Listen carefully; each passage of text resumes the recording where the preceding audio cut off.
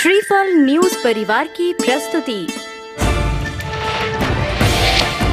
श्रीफल न्यूज़। मध्य प्रदेश मुख्यमंत्री शिवराज सिंह चौहान ने आश्वासन दिया है कि मध्याह्न भोजन में बच्चों को किसी भी प्रकार से अंडा नहीं दिया जाएगा। ये आश्वासन मुख्यमंत्री ने ऊर्जा मंत्री पारस जैन, रतलाम विधायक चेतन कश्यप व प्रतिनिधि मंडल द्वारा मुख्यमंत्री से की गई चर्चा में दिया। 2018 में होने वाले गोमटेश्वरम महामस्ताभिषेक हेतु भोजन समिति का अध्यक्ष श्री विनोद बाकलीवाल मैसूर को मनोनीत किया गया है।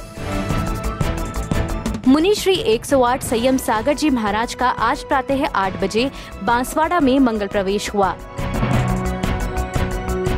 आचार्य श्री 108 वर्धमान सागर जी महाराज का भव्य समारोह में 27वां आचार्य पदारोहण दिवस भक्ति भाव के साथ मनाया गया।